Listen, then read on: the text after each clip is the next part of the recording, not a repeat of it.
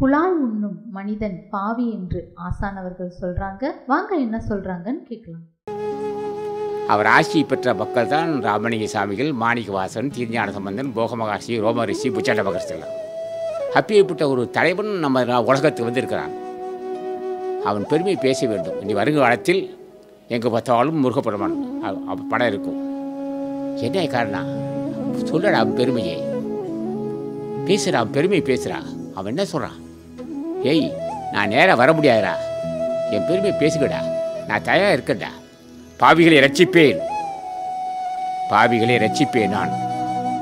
பாவிகளுக்கு அருள் செய்வேன் நான். பாவிதான் தாயே. நீயே புண்ணியவா ஏற்றுக்கொள் அவனை ஏற்றுக்கொள். ஆனால் என் சந்நிதிக்கு அடுத்து வர வர ஏற்பாடு செய்.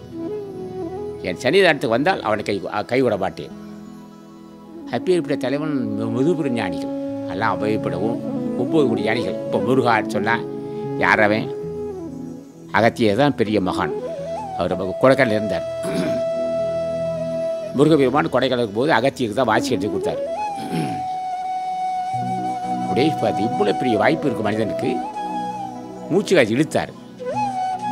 இழுத்தால் முதல் இழுத்து பார்த்தான். ஒரே ஒரு முறை ரெண்டு பக்கம் காசு வந்துச்சு அகரமும் உக்கரம் செஞ்சு. கண்ட விருந்து விழுந்து மூச்சு வந்துச்சு. அந்த ரகசியத்தை அறிஞ்சவர் தான் முருகப்பெருமான். இப்போ யாருக்கா சொல்லி கொடுத்தாரு பார்த்தார்? இந்த வாய்ப்பு வா- அடையே அடையிறார் அகத்தியசர் எங்கடா கடவுளே தெரியல அப்படியே அழு அப்படியே அழுகுறாரு அகத்தியர். இங்கே வாப்பா இங்கே. என்ன வச்சு அலையிற? ஆள் குட்டையாக இருப்பார் அகத்தியர். நான் வெளியே வர முடியாதுடா. எனக்கு அந்த வெளியே வர முடியாது. ஏன்னா என்னை பார்க்குறவங்களாம் நோய் சரியாக போகுது. ஆகவே இன்னைக்கு உனக்கு வாய்ப்பு தர சொல்லி பாசி நடத்தி கொடுத்து முருகன் அகத்தியருக்கு அதுக்கப்புறம் கை நாட்டு ஞானி ஒரு அகத்தியர். கை நாட்டை ஞானியாக்குவார் நீ வாப்பாங்க என்னப்பா? அப்படி ஊர் ஊராக அலைஞ்சி அல்லல் பட்டு தடுமாறி வேறு வேற ஊற்றி அப்பா கருணையே நிறைந்த தாய் அகத்தியர். அவர் தான் சொன்னார் முருகான்னு சொல்கிறா கிராம கிராமம் போயிட்டு இருந்தார்.